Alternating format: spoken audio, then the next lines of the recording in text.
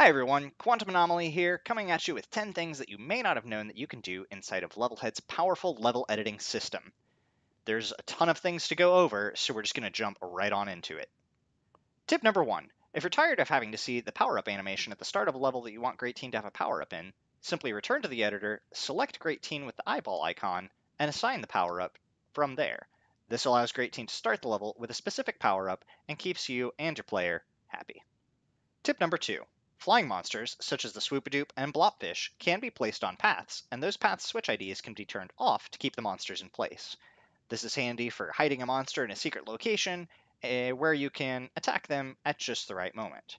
Be careful though, as Swoopadoops do have an aggro range, and if GR-18 enters their threat range, the Swoopadoop will attack. However, if the path ID is switched off, the Swoopadoop will remain in its location until the path ID is returned to an on state at which point, if the monster is a certain distance away, it'll either teleport or fly back to its position on its path.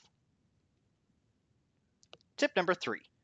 While in cheese mode, tapping the cheese mode button again brings up an options menu that allows GR-18 to be assigned a power-up, a carry item, invincibility mode, a number of gems collected, as well as a number of enemies defeated. Just note that once you press start after you have assigned the abilities in this menu, you will be teleported back to the location where you assigned your cheese mode start point.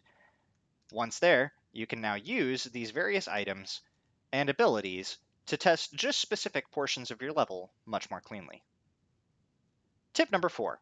Once both gems and brittle rock have been unlocked in the campaign, the default editor shows us that gems can be placed within inside of them.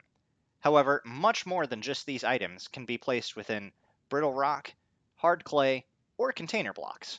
All monsters, most power-ups and collectibles, as well as many carryables can be placed within these items.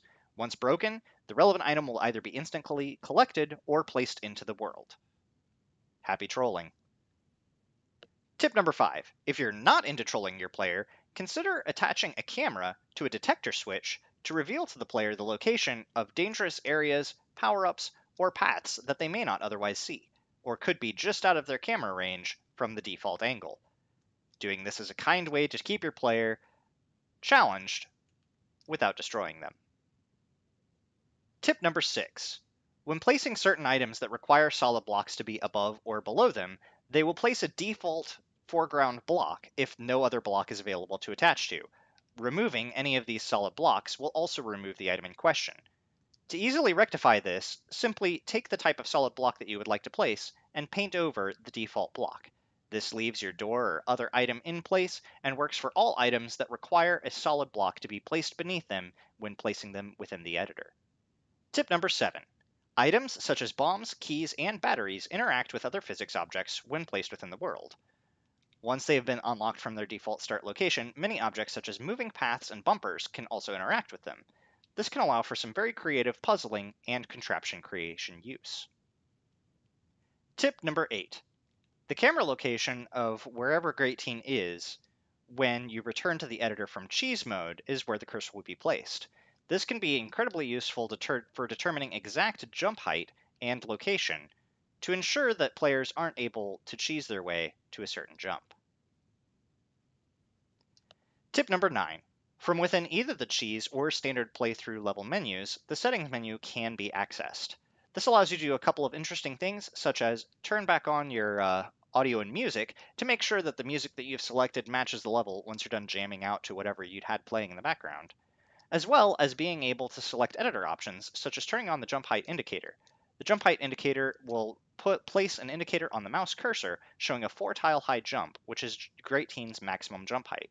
Placing tiles within the top and bottom of this bar will allow you to, to easily determine where GR-18 can access within the game. Number 10.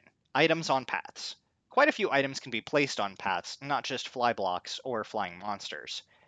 To check and see whether an item can be placed or interacts with a path, simply go into the editor, place an item down, and see if the standard lock switch appears.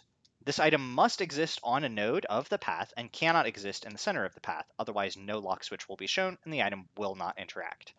Once the lock icon appears, this item is locked to the path node and will operate via the standard path options.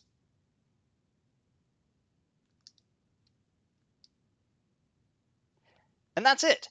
10 things that you may or may not have known about Levelhead's powerful level creation engine. If these tips or tricks have helped you at all, please feel free to throw a like down below. If you want to see more Levelhead come out of this channel, why don't subscribe or leave me a comment? And if you've created a level using any of these creation techniques or want me to check out something that you've published, feel free to comment using your link to the level down below or send me a message in the community Discord at discord.gg slash bscotch. I'm in there pretty often and love to play new player levels. Thanks so much, everybody, and for everyone else out there, keep building!